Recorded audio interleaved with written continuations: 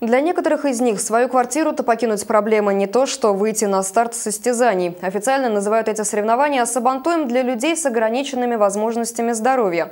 Но многие его участники морщатся от таких слов и своими поступками из года в год доказывают неточность выбранной чиновниками-организаторами формулировки.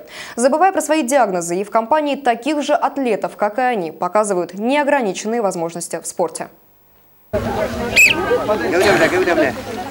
Эти двое принципиальных соперников на протяжении всего дня сойдутся еще не раз, будут преследовать друг друга на всех состязаниях. Необычный праздник, или как его еще называют пара Сабантуй, предварял главные городские гуляния. В субботу за день до торжеств на Майдане на небольшом пятачке у ипподрома раскинули шатры для особых гостей, потерявших частичку здоровья, но ставших только сильнее – духом.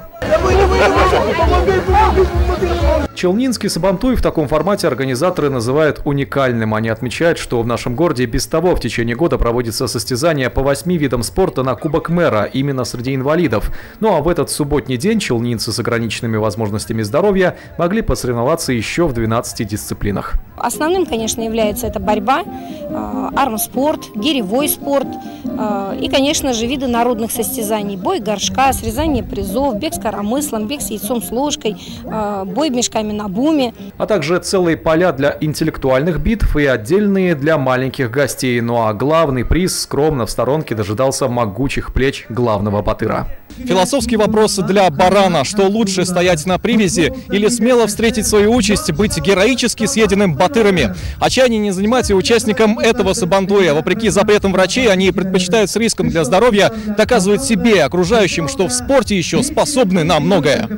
Одна из таких – Мария Урсигова. Начинала заниматься армспортом в набережных Челнах, а 10 лет назад приехала в Менделеевск. Двукратная чемпионка Европы среди инвалидов, десятикратная России и шестнадцатикратная по Татарстану. Занимается 18 лет и на соревнованиях стала узнаваемой, тягаться с ней мало кто вызывается, несмотря на перенесенный ею микроинсульт. Врач мой вот, она как мне сказала, я еще и штангу поднимала в свое время.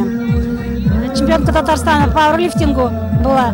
Мне сказали, штангой вообще не заниматься, а пару, а э, армрестлингом заниматься можно. Я как бы особо больших усилий не прилагаю, у меня сила природная, у меня дядька занимался национальной борьбой в свое время такой вот. Видимо, его дар передался мне.